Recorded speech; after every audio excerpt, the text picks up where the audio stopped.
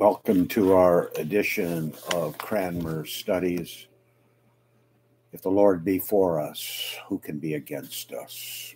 We turn now to uh, Gerald Bray's English Reformation documents, and he's quoting, citing William Tyndale's preface to the Bible. Wonderful set of comments. Concerning the word repentance, as they used to use the word penance, the Hebrew hath in the Old Testament generally, generally shuv, to turn or to be converted, for which the translation that we take for St. Jerome's hath most part converti, to turn or to be converted, or sometimes yet agere ponitentiarum, to do penance. The Greek in the New Testament have perpetually metanoeo, to turn in the heart and mind and to come to the right knowledge and to a man's right wit again. From which metanoeo, Jerome's translation has sometimes been ago penitentem, I do repent, sometimes penitento, I repent, I am repentant. I have repentance sometimes. Penitent, it repenteth me. And Erasmus uses much this word, repiscopo, I come to myself, or to my right mind again. And the very sense and signification, both of the Hebrew and also the Greek word, is to be converted and turned to God with all the heart to know his will and live according to his laws, and to be cured of our corrupt nature with the oil of his spirit and wine of obedience to his doctrine.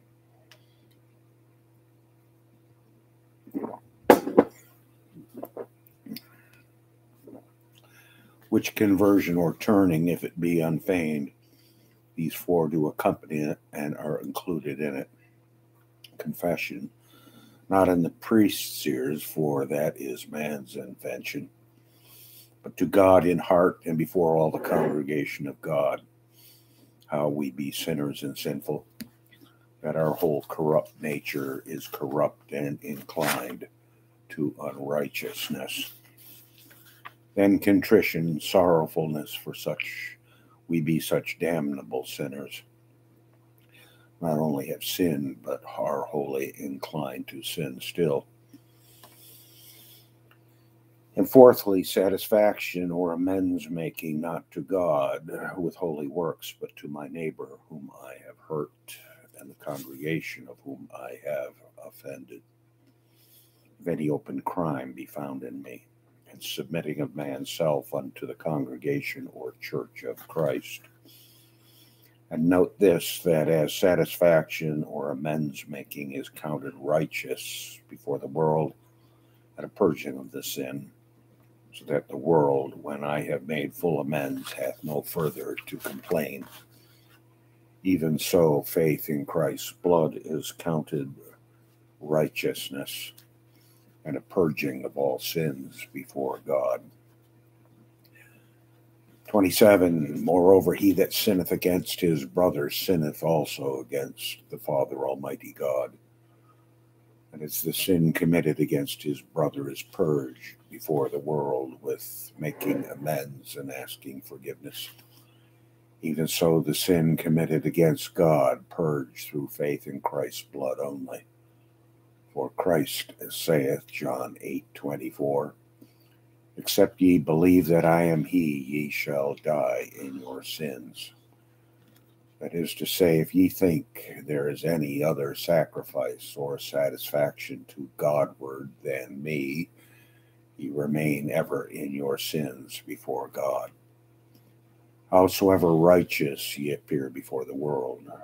Wherefore now, whether ye call this metanoia, repentance, conversion, or turning again to God, either amending, or whether ye say ye repent, be converted, turn to God, amend your living, I'm content, so ye understand what it means thereof, as I have declared.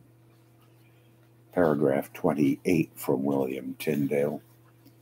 Elders. In the Old Testament, the temporal heads and rulers of the Jews with governance over the lay or common people are called elders, as you may see in the four evangelists, out of which custom Paul in his epistles and also Peter called prelates and spiritual governors are bishops and priests. They're called elders.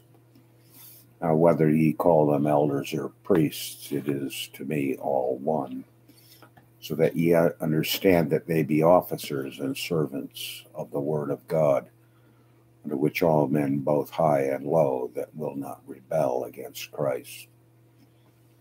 29, a prologue unto the four evangelists showing what they were and their authority. As for St. Matthew, as touching the evangelists, ye see in the New Testament clearly what they were. First Matthew, as ye read, was one of the Christ's apostles and was with Christ all the time of his preaching and saw and heard his own self almost all that he wrote. Number 30 of Mark, read Acts 2 12, 12 to 17, how Peter, after he was loosed out of prison by an angel, came to Mark's mother's house, where many of the disciples were praying for his deliverance. And Paul and Barnabas took him with them from Jerusalem and brought him to Antioch, Acts 12, 25, and Acts 13, 5.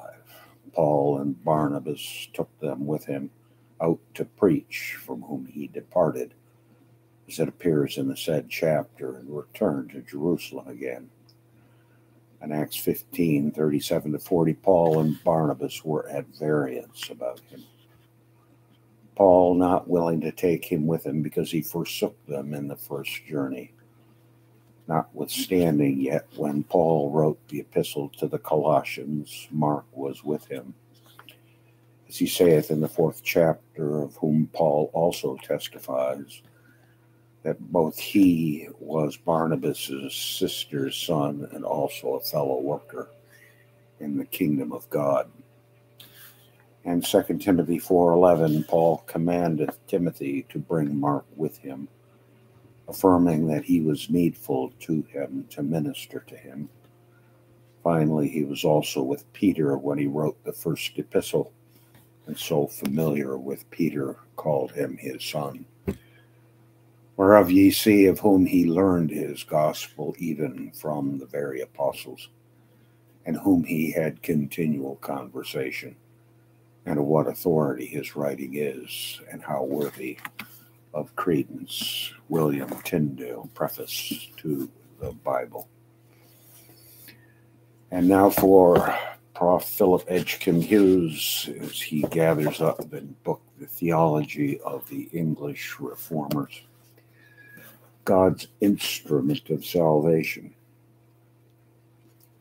From the New Testament, as has already been briefly mentioned, the Reformers learned that preaching is not, is not just an option or an extra, but a divinely appointed necessity for the church.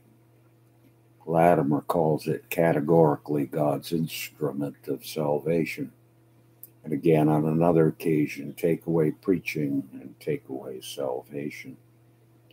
Or again, in his second sermon on the Lord's Prayer, he declares, This office of preaching is the office of salvation.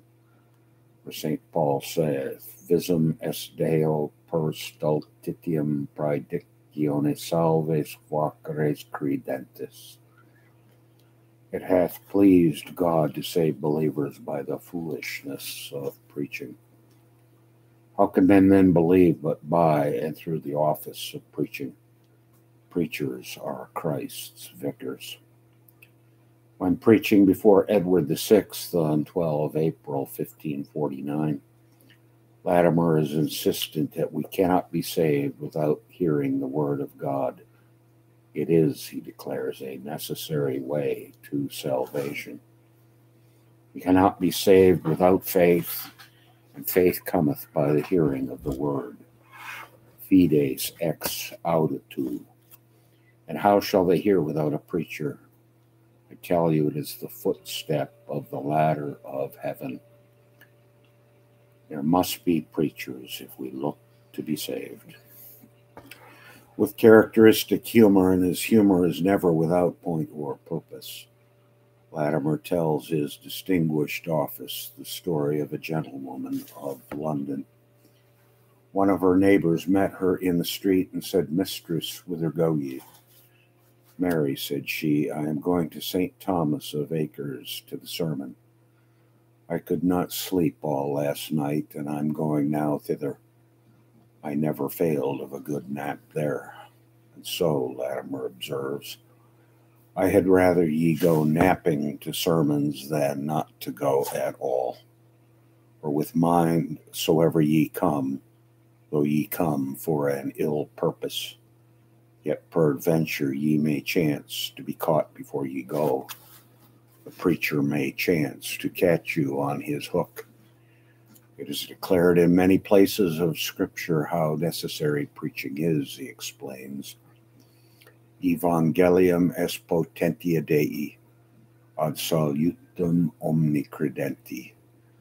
The preaching of the gospel is the power of God to every man that doth believe. He means God's word opened. It is an instrument and the thing whereby we are saved. Here you may see how necessary this office is to our salvation. This is the thing that the devil wrestleth, wrestles most against. It hath been all his study to decay this office. He worketh against it as much as he can. He hath prevailed too much, too much in it. He hath set up a state of unpreaching prelacy in this realm this 700 years. And so he admonishes his hearers Beware, beware, ye diminish not this office. Nor should preachers imagine that the pulpit is the only fitting place from which to deliver a sermon. The message is to be proclaimed under all circumstances and wherever opportunity may offer. Latimer cites the example of Christ who preached from a boat. It was a good pulpit that our Savior had gotten him there, an old rotten boat, and yet he preached his Father's will, the Father's message, out of this pulpit. He cared not for the pulpit, so he might do the people good. Accordingly, a good preacher may declare the word of God sitting on a horse or preaching in a tree. And yet, if this is so should be done, the unpreaching prelates would laugh it to scorn. And though it be good to have a pulpit set up in the churches that the people may resort thither, yet I would not have it superstitiously used, but that in a profane place the word of God might be preached sometimes. And I would not have the people offended withal no more than they be of the Saviour's preaching from a boat and yet to have pulpits in churches, it's very well to have them, but that they would be occupied. As he points out in a sermon preached at Stamford on 9 November in 1550, Christ knew what charge hangs upon this necessary office of preaching, preaching, the office of salvation, and therefore most earnestly applied it to himself. Advice concerning the manner of preaching is given by Pilkington in his exposition on Nehemiah. Good nature, he says, are moved rather with glad tidings of the gospel than the sharpness of the law. We will pick that point up in our next session. Turning to Margaret Margot Johnson's Thomas Cranmer and uh, some comments by Hugh Bates on the worthy communicant. Communicant. True to Article 29, Cranmer insists on the impossibility of an evil person being able to receive the body of Christ, directly contradicting St. Thomas Aquinas. Good and evil men are sharing one repast, a doom preparing varied as the heart of man. By contrast, to cite a representative passage, all men, good and evil, may with their mouths visibly and sensibly eat the sacrament of Christ's body and blood. But the very body and blood themselves may not be eaten, but spiritually, and that of spiritual members of Christ, which dwell in Christ and have Christ dwelling in them, by whom they be refreshed and have eternal life. The worthy communicant who feeds on him by faith with so thanksgiving is united to Christ and is made a very member incorporate of the mystical body. The unworthy communicant does not and cannot receive the body and blood of Christ. But this is not to say that the act of eating and drinking was simply null and void for him. If he does not discern and make a difference of the body that he is surely eating and drinking, damnation to himself. His lack of faith and hardness of heart effectively exclude him from having any part in Christ. His, um, so, for a wicked man to receive the body and blood of Christ is both illogical and a theological impossibility. If Christ is not truly and spiritually present, it must be that he is truly and spiritually absent. The absence of Christ is nothing more or less than damnation. Far from being a temporary expedient, the Order of Communion 1548 became more and more deeply embedded in the communion services of the two later prayer books. In 1549, the exhortations are placed after the creed and have been parted from the invitation, confession, and absolution which precede the communion. Now, in the New English Rite, priest and people communicate together. But in the second book of 1552, the two parts of the order are once more united. Throughout the process, one substance of the hortatory material is largely retained, but adapted and rearranged to match the situation as it developed. For example, the procedure for announcing the intention to celebrate and for repelling notorious sinners has become properly established. Significant also has become the net, net necessary for the curate to rebuke the congregation for persistent non attendance. As ever, devotional habit lags far beyond theological progress. By 1552, the private Mass was a thing of the past.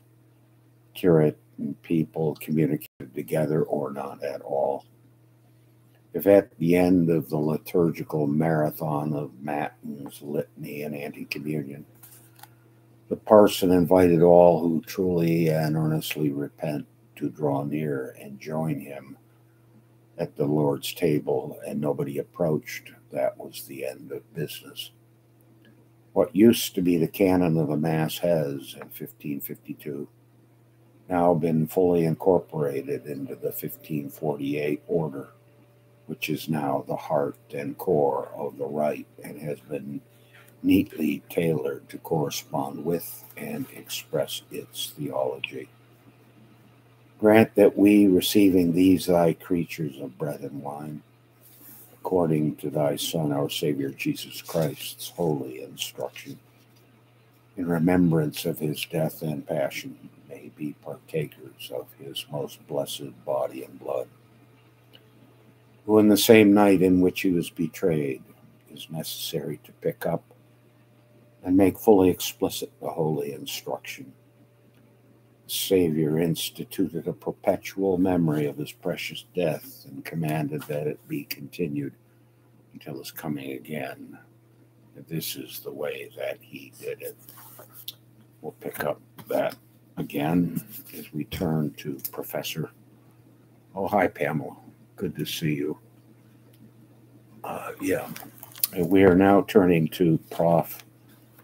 McCulloch on Thomas Cranmer, and we're in and about, I believe it is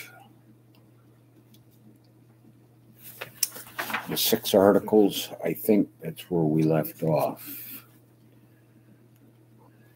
Parliament reconvened on May 30th, 1539 is what I think we're at.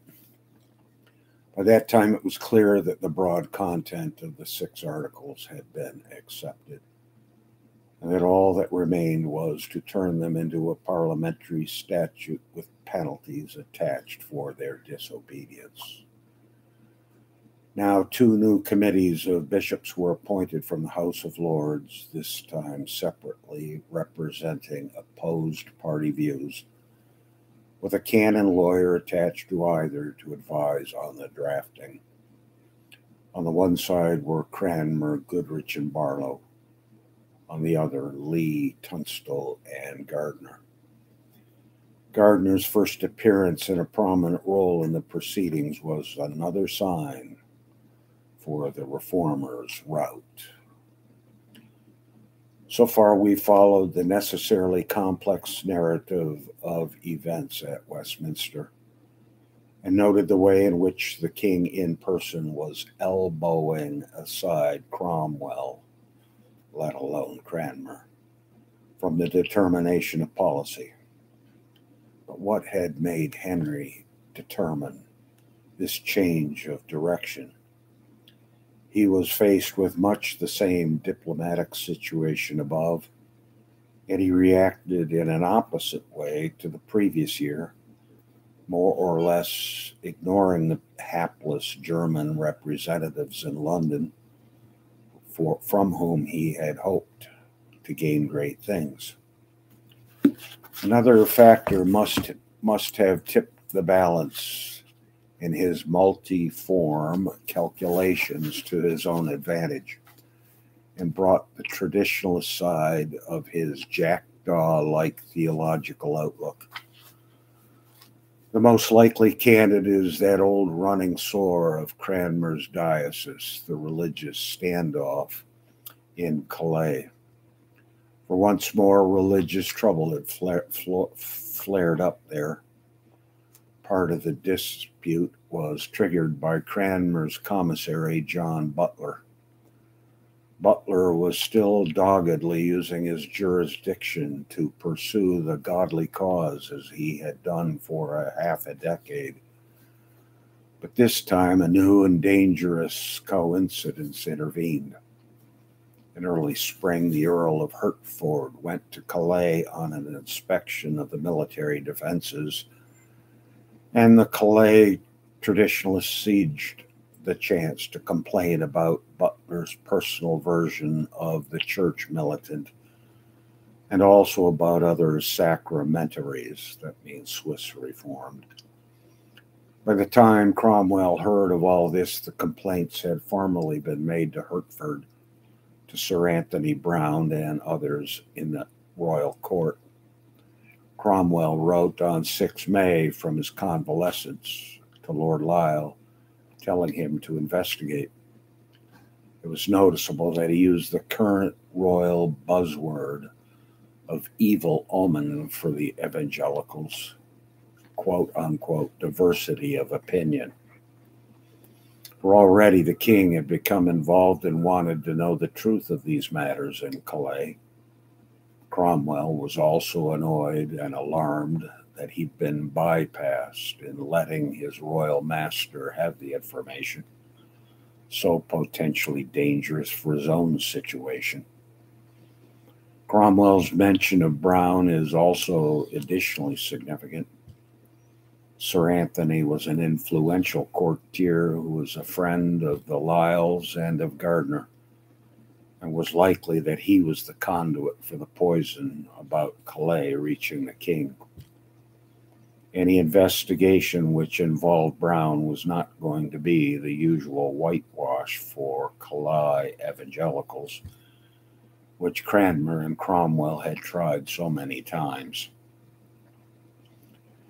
Sir Anthony Lyle also kept Lisle fully informed as to what was going on in London, including the sequence of events up to May 30, which we've already surveyed. Lisle thus secretly primed Browne and with his own staff of informants in the capital, knew that at long last he could hope for success if he rounded up his Calais enemies, as long as he acted with discretion. I beseech you, he begged Browne on May 30, keep this my letter close, for if it should come to my Lord Privy Seal's knowledge or ear, I were half undone. He told Browne that he'd written to Cromwell plainly a note of confidence which was normally absent from his dealings with the Lord Privy Council, reminding him of no fewer than three previous letters complaining that I am not able to serve the King's Majesty here without obedience. The theme of obedience was a promising line to pursue in order to secure Henry's continuing interest. Meanwhile, through my the Calais Council, despite the opposition of its evangelical sympathizers, met to gather deposition of the troubles duly forwarded to Cromwell. The saga, six articles in May 1539. And we jump around a little bit here. We pick up with the hand of Cromwell discussing the situation of the monasteries. Cromwell's scheme, however, was no development of Wolsey's scheme on the monasteries. He proceeded to divert the wealth of the monasteries into the royal exchequer. According to one theory of his aim, he perceived that they were dens of iniquity instituted an inquiry which more than justified his worst anticipations, crushed the evil thing for the public good, and restored to the state the revenues which had been so so grossly abused by his tr- the trustees. According to the other extreme theory, the whole piece, piece was a sheer robbery, utterly without excuse the fact appears to be that there was really a strong case for the abolition of the system and ample ground for confiscation in individual cases. That the evidence on which the wholesale despoliation was said to be justified was never made public and had been gathered by methods which, in any case, would have deprived it of real weight while the use to which the spoils were put was wholly iniquitous. The process was simple. The king, as supreme, had delegated to Cromwell as his vicar general. Full powers to act and appoint commissioners at his pleasure. On the basis of interpreting the supremacy as an unqualified autocracy. The visit the Vicar General instituted a visitation by creatures of his own. Lee, Leighton, Ap Rice, Petre, London, who bullied the monks, accepted confessions and information from discontented inmates, treated refusals to answer the most insulting questions as admissions of guilt and succeeded generally in collecting a vast amount of unsifted scandal.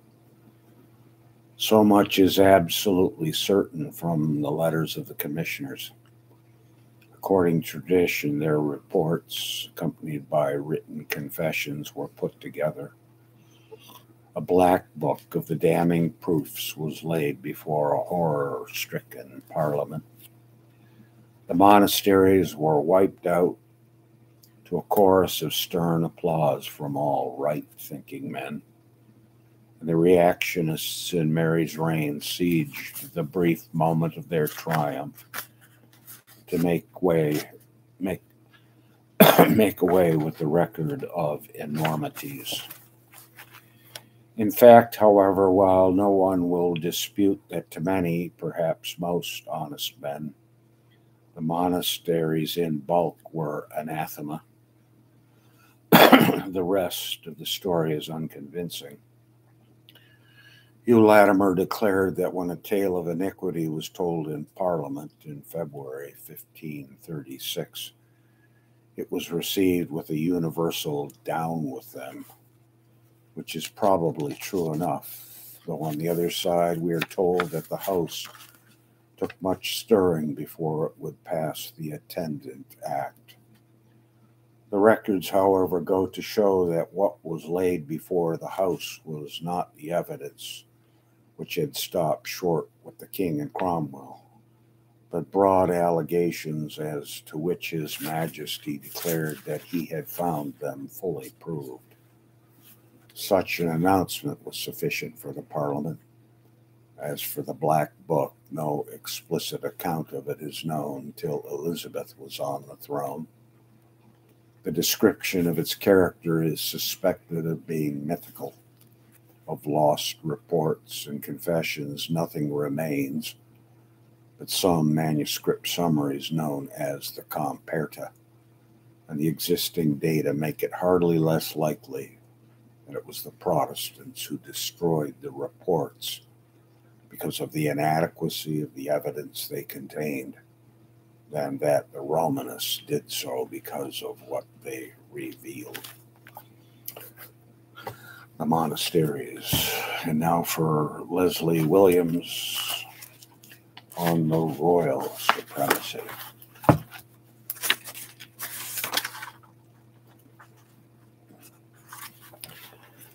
We beseech thee, Almighty God, mercifully to look upon thy people, that by thy great goodness they may be governed and preserved evermore, both in soul and body, through Jesus Christ our Lord. Cranmer landed in the middle of several hot spots. The people of England were not prepared to deal with religious and political changes of the magnitude thrust upon them popular opinion still favored Catherine over Anne, and Cranmer had to learn how to deal with Catherine's die-hard supporters in high places. Fisher, Fisher and some of the old nobility tried to egg on the emperor to declare war and invade England, while others talked of civil war.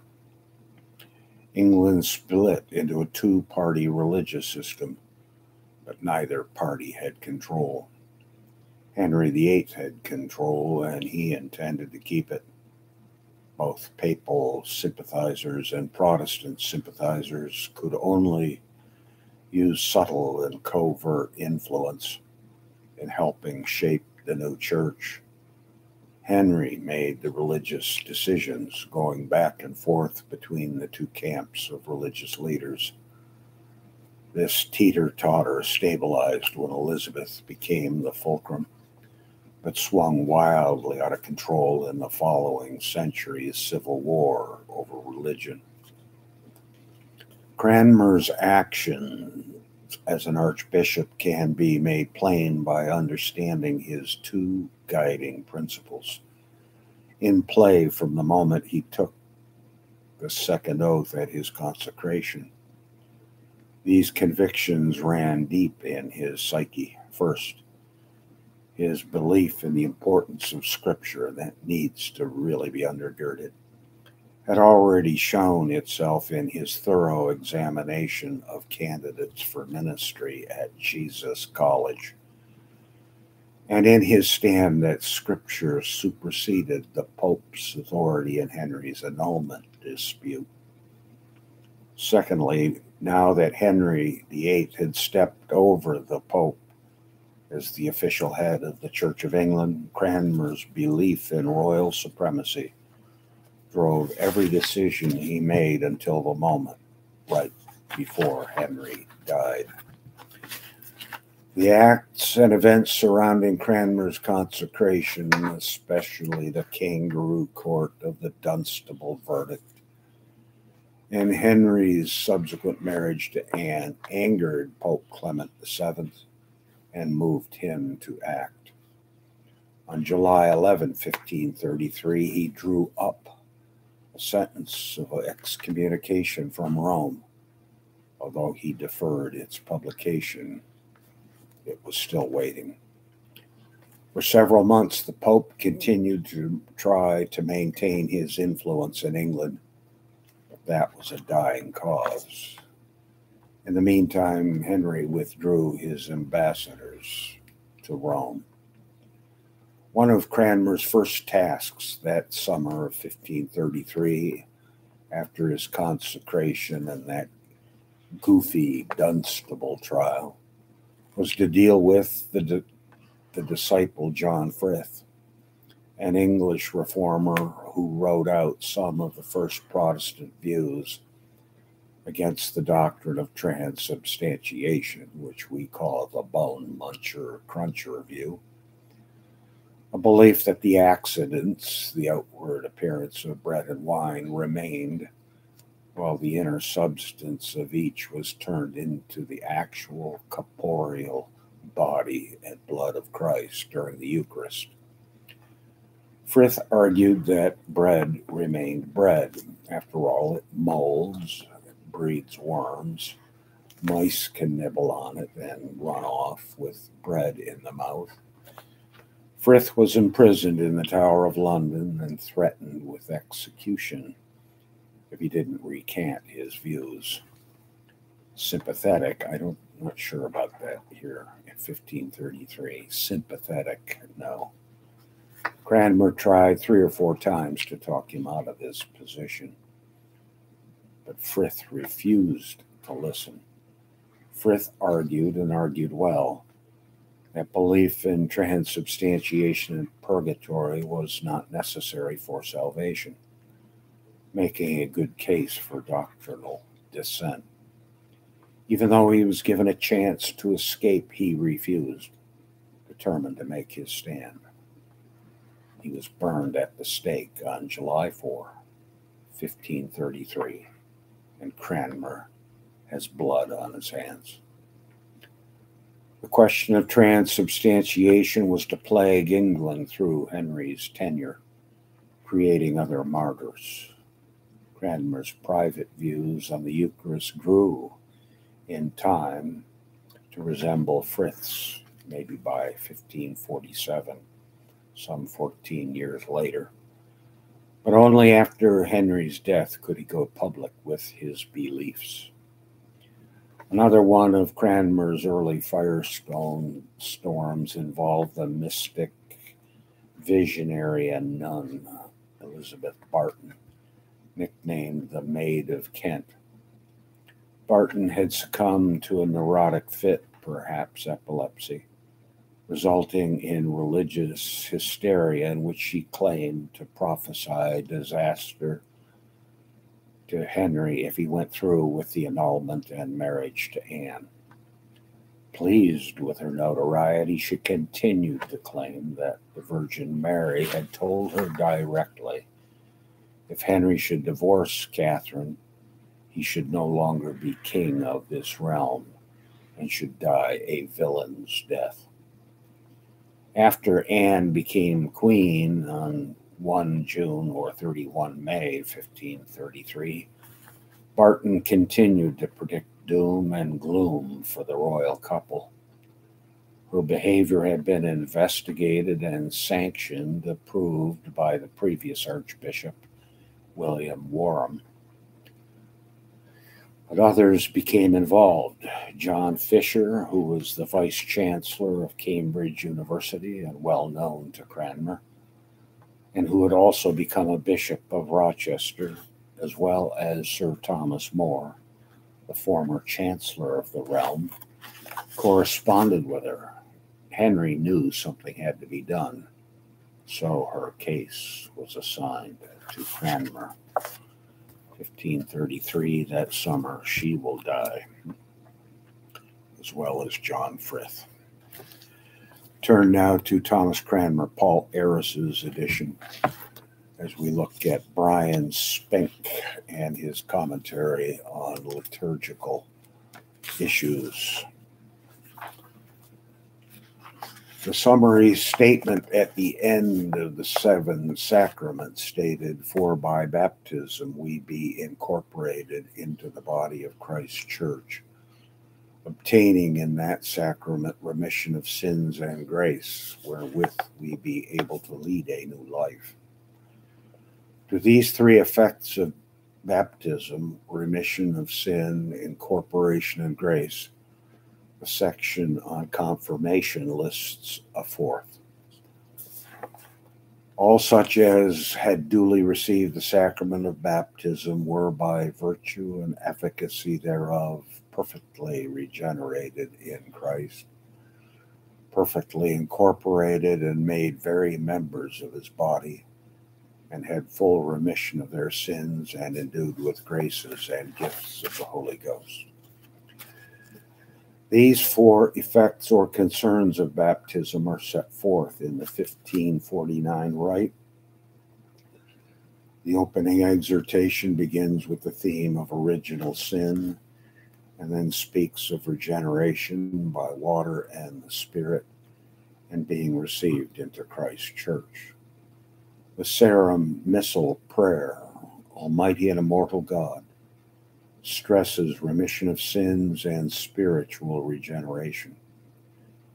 The exorcism of being made members of his body and holy congregation, and the exhortation after the gospel teaches that through baptism, the candidate is made partaker of the heavenly kingdom.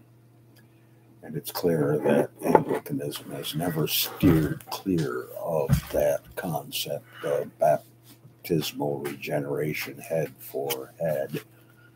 Reformed Episcopalians steered through that Charybdis and Scylla.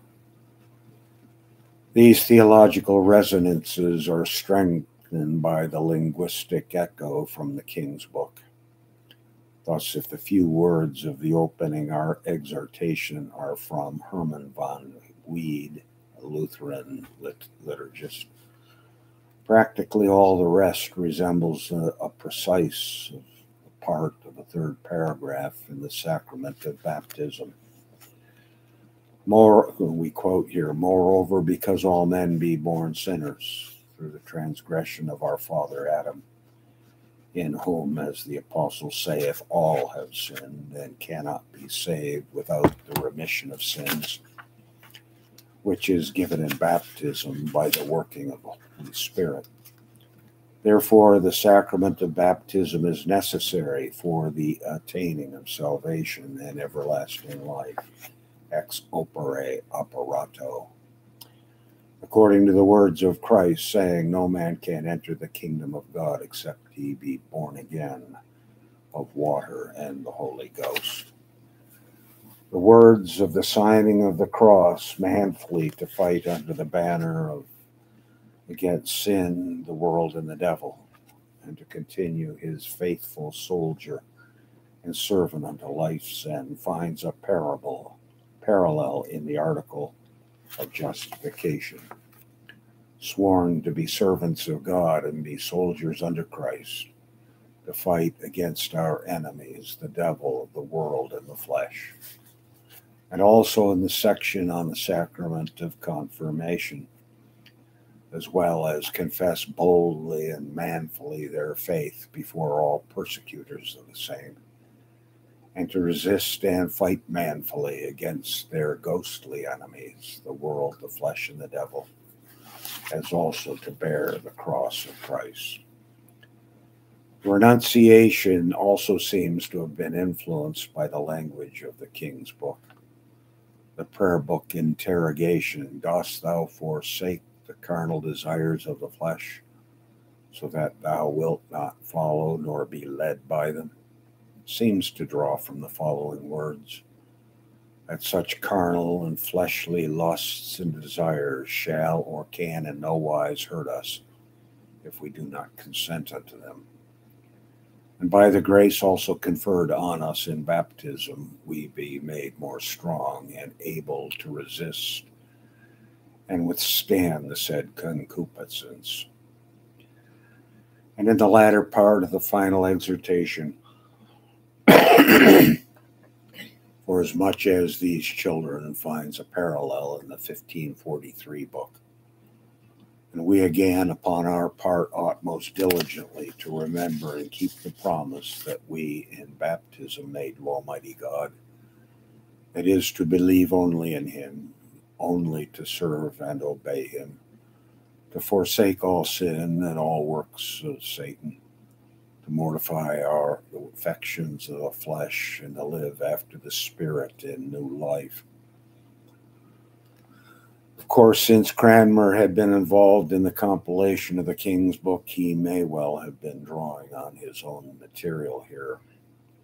This does not alter the fact that, however, his doctrinal writings and those of others became a source of liturgical composition.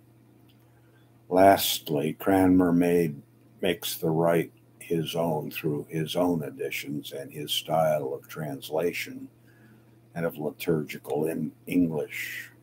His well known love of doubling words is illustrated in the illustration after the gospel gesture and deed, faithfully and devoutly.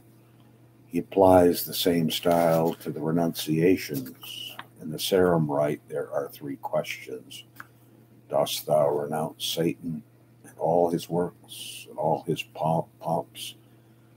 Following Herman, but more concisely, Cranmer has Dost thou forsake the devil and all his works? Dost thou forsake the vain pomp and glory of the world with all its covetous desires of the same?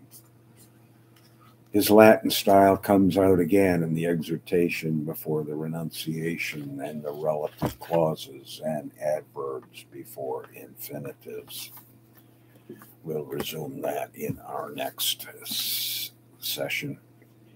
Jasper Ridley's Thomas Cranmer on the fall of Thomas Cromwell, Crom, Cromwell, which to which Cranmer gave his vote of affirmation.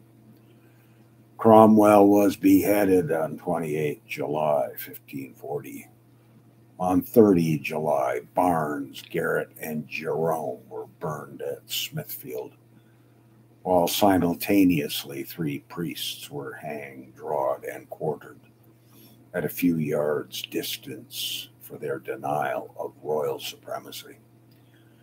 This grisly co execution of papists and heretics after they had been dragged to Smithfield with one papist and one heretic together on each hurdle. Made a great impression on the people, and Foxe has given a remarkable explanation of it.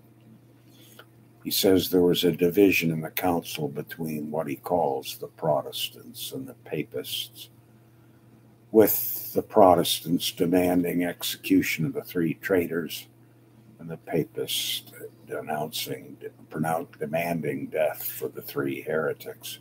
It was therefore agreed to execute them all. Foxe states that the Protestant councillors were Cranmer, Suffolk, Edward Seymour, John Dudley, Russell, Paget, Sadler, and Audley. And the Papists were Gardiner, Tunstall, Norfolk, Southampton, Browne, Paulet, Baker, Rich and Wingfield, when Foxe wrote this passage, he can hardly have been in a good position to know about the discussion in the council 23 years before, for he had not yet met Morice, who might have acquired the information as Cranmer's secretary. It is unlikely that the bloody compromise of execution of all six men was actually agreed upon between the two factions in the council but it was undoubtedly safer in 1540 for both sides to denounce papists or heretics rather than attempt to save their supporters. And as Cranmer would not have dared to make a plea for the three reformers, and Gardiner had no wish to save the three papists, The decision of the council to advise the king to execute them all was doubtless unanimous. In April 1540, Cranmer, Cromwell had announced the establishment of a commission consisting of two archbishops, six bishops, and 12 other divines for the purpose of examining Christian institutions. At first, the commission sat on six days a week, but later they adopted the method of replying to questions in writing and during the summer and autumn, Cranmer drafted the 17 questions on the sacraments for himself and his colleagues to answer. The commissioners, after first serving their individual answers, held discussions amongst themselves, as a result of which many of them were able to agree on joint replies, though it was impossible to reach unanimity. A further document containing these revised and joint opinions was then submitted to the king. Cranmer, after originally giving his separate answers to his own questions, later wrote a second set of answers together with Barlow, Bishop of St. David's, which on some points gained approval of some of the other commissioners. The opinions which Cranmer expressed in the second document were strikingly different from those which he had put forward on the first document. Cranmer, the answers were drafted 12 April and before 29 December 1540, when Thirlby was consecrated Bishop of Westminster, for he is referred to as the elect of Westminster in the document. This led Jenkyns to suppose the answers were drafted after 17 September 1540. The 17 questions dealt with three main issues the number and origin of sacraments, the prince's power to appoint and consecrate bishops and priests, and the necessity for confession.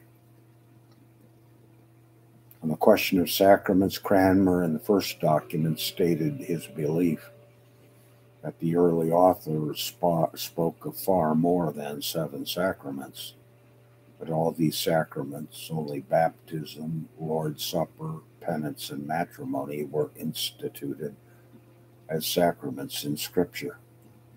He adhered to this in his later answers, though he and Barlow altered the wording of his earlier answers so as to weaken the effect on nearly every point. With regard to confession, there was likewise no actual contradiction between Cranmer's first and second answers. But the second answers are so evasive as to give a complete different impression. To the question as to whether a man was bound by Scripture to confess his sins to a priest, Cranmer first replied, A man is not bound by authority of this scripture, quorum remiseritis, and such like, to confess his deadly sins to a priest, although he may have him.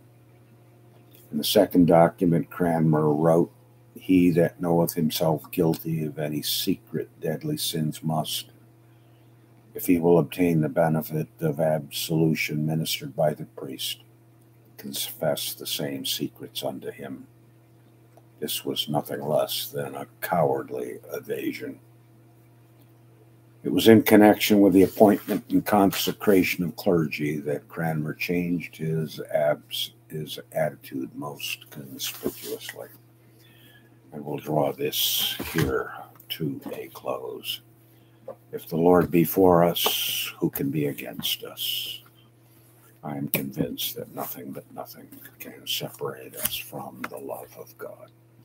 Until next time, Godspeed.